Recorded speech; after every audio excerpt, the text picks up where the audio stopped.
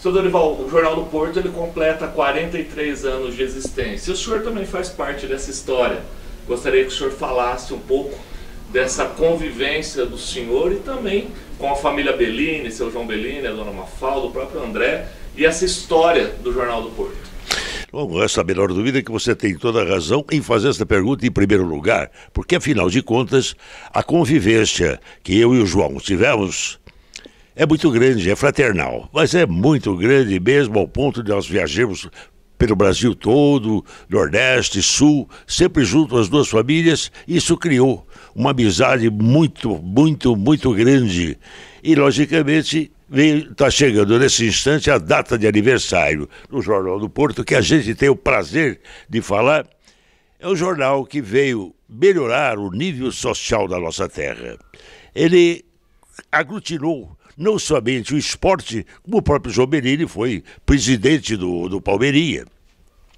Como eu também aproveitei esta oportunidade do Fioc e do João e ofereci a iluminação do Palmeirinha. Então eu fico feliz em poder ter participado com ele em alguma coisa. E ele esquece também que eu também fui colaborador do jornal. E ele fala, por quê? Aquela figura que você vê de um homem magro e a dona Candinha, aquilo foi criação minha. Então, até hoje, perdura algo que eu participei do jornal. Mas eu não estou aqui a fim de ficar contando história para você. Você veio aqui, Martins, para perguntar alguma coisa boa e eu estou suas ordens. Seu Dorival, o jornal ele já tem 43 anos de existência. É o único jornal impresso do nosso município que durou todo esse tempo. Com a experiência do senhor, é só um jornal com credibilidade que mantém essa tradição até hoje? Não resta dúvida, o povo também adotou esse jornal. E nós sentimos que o jornal antigo, que era o Ferreirense, que, que afinal de contas devo também muito a eles, ao, aos Finili, que traduziram o meu pensamento administrativo e político também junto às hostes aqui da região. E nisso chega o Jornal do Porto. Chega o Jornal do Porto já quase que no final né, do, meu, do meu primeiro mandato. Mas ele deu uma cobertura muito grande no, inter, no, inter, no, no, no meio daquilo tudo que nós queríamos. Ele deu uma cobertura ao ponto de eu voltar como prefeito por mais seis anos. Aí o Jornal do Porto deu uma continuidade muito grande na, na, nos meus anseios, nas minhas obras. Isso criou uma, uma, uma coisa tão gostosa para todos nós, não somente para o prefeito, mas como também para toda a sociedade. Criando daquela forma, então, já no final do meu primeiro governo, a FEIF, você vê, é quanta gente que veio na FEIV, e veio lá a, a Perla, e veio lá Quem Chitão Chororó, e veio lá Ângela Maria, cada coisa bonita naquela época. Então eu dei para o povo de Porto Ferreira, e com isso eu alimentei uma necessidade de criar e procriar, criar e crescer bastante o comércio da louça. Tanto assim que também a louça e a cidade foi criando uma, uma força muito grande ao ponto de eu cognominar ou dá o nome, então, dessa feira de Feira Industrial Ferreirense. E depois virou Feira da cerâmica artística. E assim foi passando de prefeito a prefeito, mas sempre prestigiando aquilo. Mas quem dava cobertura era o meu querido João Bellini. O João Bellini dava aquela cobertura total e era a única fonte que nós tínhamos na época, uma fonte de divulgação das coisas. E no segundo mandato, já com João Bellini como proprietário, eu criei a Porto FM.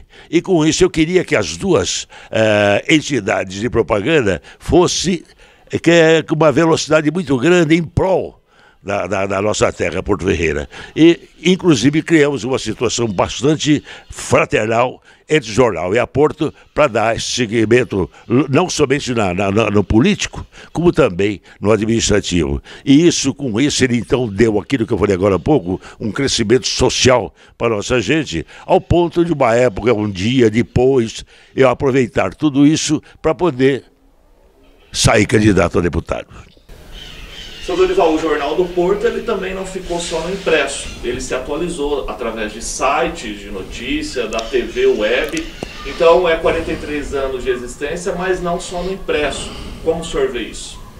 Eu acho muito bacana as atitudes da família do João Benini, Bafaldo, André, que deram uma força muito grande para aquilo que eu falei no início, o desenvolvimento de Porto Ferreira. Ou fosse na área social, na política, esportiva, mas foi em todas as áreas que o jornal acabou. E perdemos logo em seguida, com a entrada do Jornal do Porto, o Ferreirense, que era praticamente do meu primeiro mandato. Aí imperou o Jornal do Porto. E aí vai e continua imperando nesses 43 anos, dando uma força tremenda para a nossa sociedade e a divulgação daquilo que eu falei.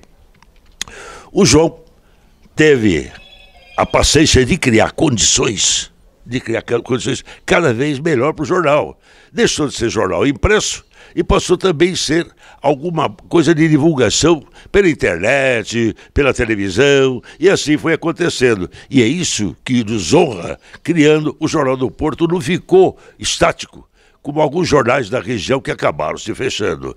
Este não. Este deu sequência nas coisas melhores, onde o povo está acostumado a ouvir pela, pela, pela rádio, ou quem sabe também é, por, por, pela internet, essas coisas todas. Então a gente fica muito feliz em poder parabenizar o João Berini, a Mafalda, é, o André, por esta sequência lógica de um desenvolvimento imperial. É isso que a gente fica feliz em poder também dar uma divulgação do que o João Bellini e a família Bellini fez. Nós sentimos muito bem com isso aí.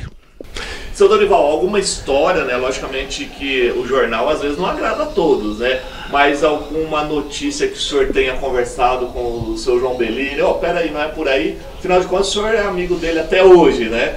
Então é uma amizade verdadeira que não foi por causa de uma notícia, né, que causou desentendimento. Mas como foi essa história? Se você for ver a dedicatória que eu tenho, com o presente que está em cima da mesa, que eu estou recomendando através de você, que me entregue a ele por obsequio, é uma história do Corinthians há 27 anos.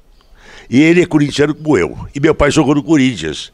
Então eu fico muito feliz em conviver com ele de uma forma esportivamente, como fui do Palmeirinha, como fui aqui da região e como fui também do Corinthians com ele. Então eu falo para você, algumas coisas poderiam ter logicamente acontecido, não somente é, na via jornalística, mas sim também por outros meios, outras coisas. Não, nunca aconteceu. Mas se aconteceu algum lapso bem pequeno, eu fingi que não ouvi, eu fingi que não li eu fingi que não senti nada, porque eu sou teimoso, principalmente com o aprendizado na política. Você não pode arrumar adversário. Você adversário, até você dá para conviver. Você não pode arrumar inimigo.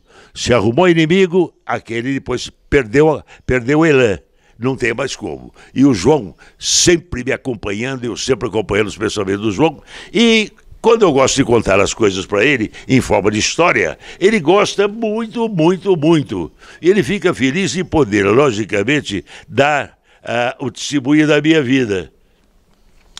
Esse presente que eu estou passando para você, que você me faça o favor de ser o portador, eu ficaria muito contente e é, que na próxima uh, movimento político de entrevista, eu gostaria que você lesse para os nossos, os nossos amigos ah, como é que eu estou dedicando o meu livro para ele. Para você ver, através daquela leitura que eu não estava esperando você chegar, quando eu fiz essa, essa dedicação para ele, já faz uma semana.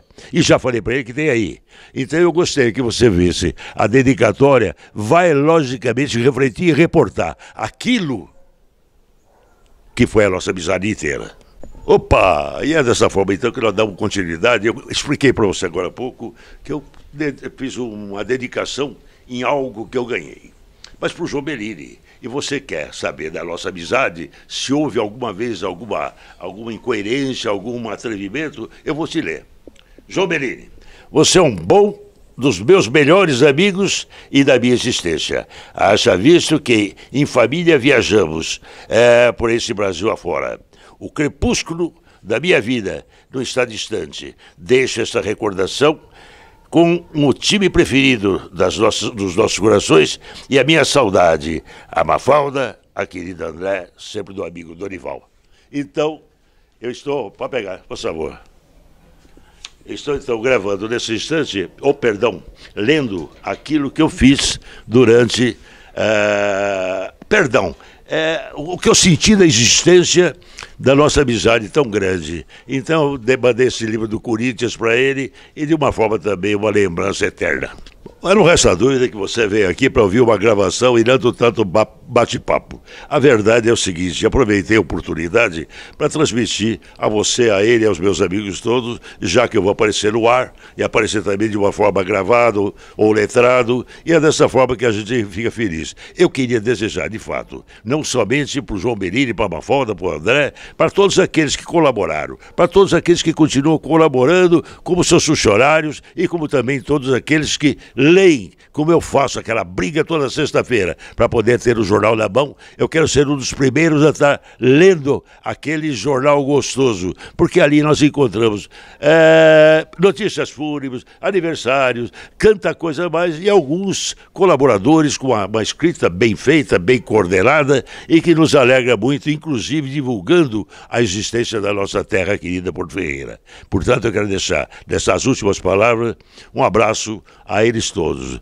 Mas mesmo assim, um abraço a todo o povo de Porto Ferreira, que soube um dia conquistar um jornal que é o único da cidade e que continua perpetualizando aquilo que nós temos de bom, que é o trabalhador. É o trabalho da nossa terra, é a necessidade de acompanhar todas as nossas necessidades e é daquela forma que a gente fica feliz em ter o João Benini como proprietário de um grande jornal. E, logicamente, me perdoem, não, não, não, não, não, não, não, não, não joga confete. E a minha Porto FM também, que faz praticamente o aniversário da mesma data. Um abraço para vocês todos de coração, fiquei muito feliz por essa entrevista e, logicamente, o Martins recebe aqui um abraço afetuoso e convidando ele para que ele possa ir também no rancho, que é onde eu vou com o Bafra, com aquela turma turma toda, sempre almoçar quase que todos os dias. Um abraço para vocês todos e muito obrigado pela entrevista, Martins.